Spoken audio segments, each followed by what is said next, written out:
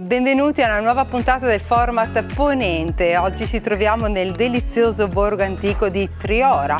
Sapete che questo borgo è famoso per tantissime cose e soprattutto per essere conosciuto come il paese delle streghe. Però se vogliamo parlare anche di gnam gnam, di qualcosa di gustoso, è famosissimo il suo pane di Triora. Infatti più tardi andrò sicuramente a comprarlo. Bene, gustatevi questa nuova puntata. Ciao!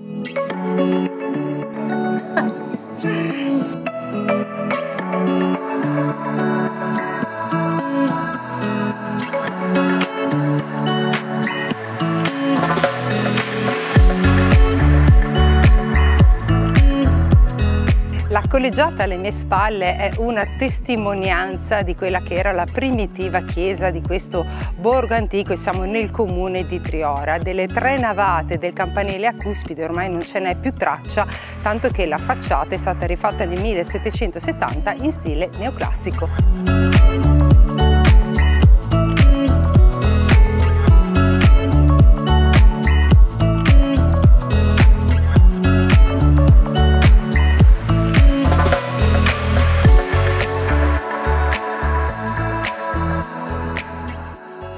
Alle mie spalle troviamo il Palazzo Stella, è un palazzo eh, costruito nel 300 ed è proprio il cuore del borgo antico di Triora. Questo palazzo nasconde tantissime storie, tantissime curiosità, adesso ne entreremo anche dentro perché c'è il museo, vi faremo vedere alcune immagini, ma racconta anche una storia che eh, racchiude un po' di tristezza e di stregoneria.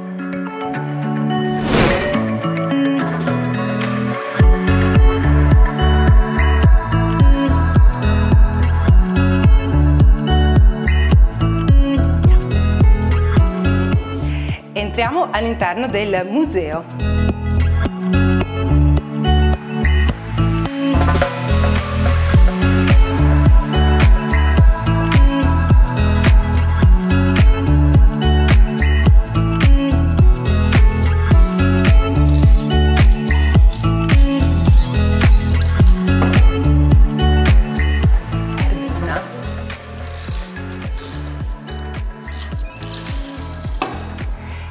Erbe magiche. Magia!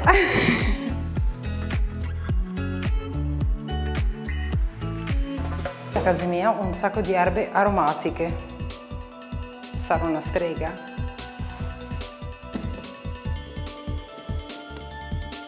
Ogni erba aromatica ha una proprietà e le streghe conoscevano l'utilizzo tanto che venivano anche eh, bruciate sul rogo perché si pensava che le streghe fossero delle donne che avevano dei rapporti con il diavolo, in realtà erano delle vecchie curatrici.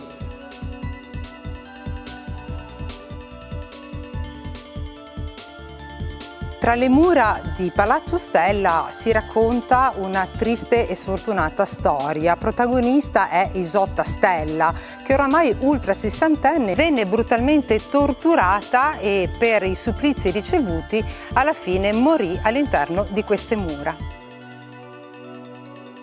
Anche il genovese Giulio Scribani prese dimora all'interno delle mura di Palazzo Stella, ma con uno scopo molto cruento che diede origine al fenomeno noto come caccia alle streghe.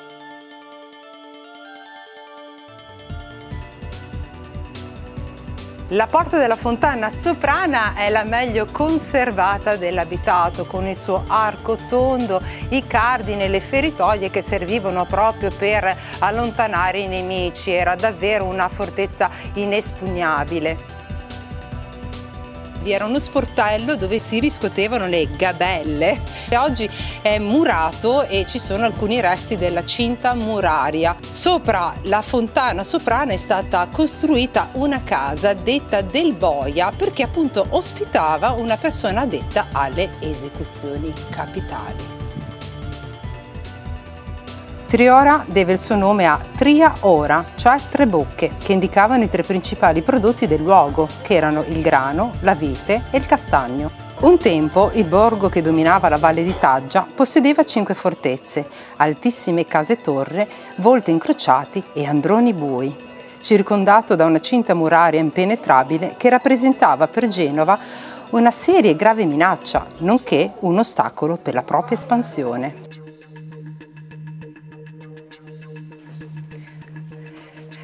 La cabotina, andiamo!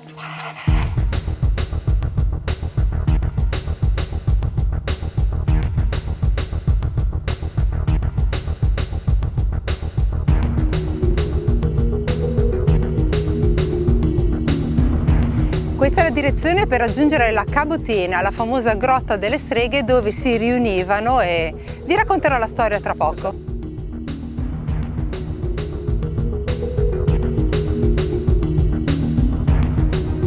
Le streghe avevano la scopa e volavano. Non si vede nulla. La cabotina, la grotta delle streghe e io ci vado. È permesso? C'è una strega qua per voi.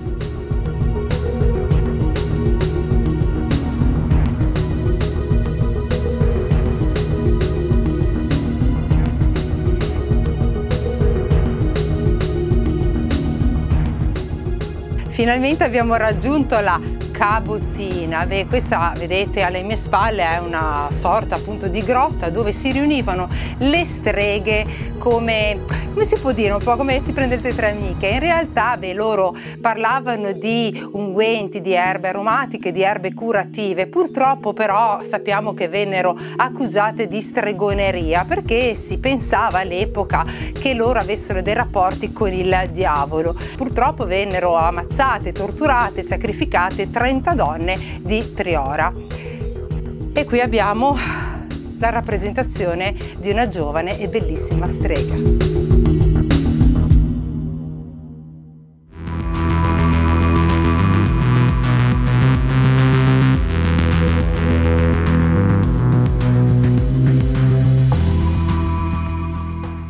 Giunti al piazzale troviamo quello che un tempo era una fortezza davvero inespugnabile e dimora dei signori locali.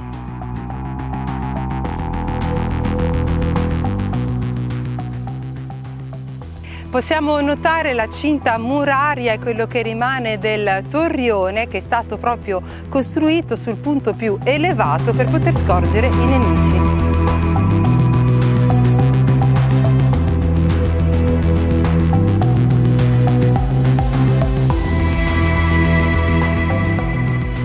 Il castello venne costruito sulla roccia dalla Repubblica di Genova a difesa dei suoi confini, ma eh, venne danneggiato proprio dai trioresi che protestarono contro l'esosità delle imposte.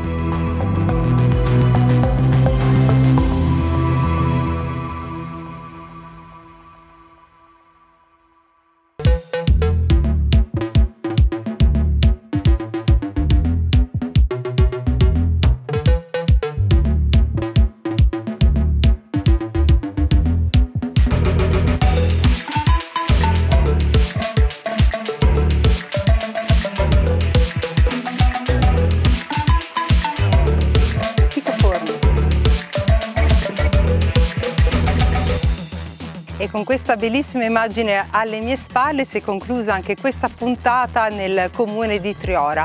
Noi vi salutiamo, ci vediamo la prossima volta. Un bacio da Saba e da Zena Zon. Ciao!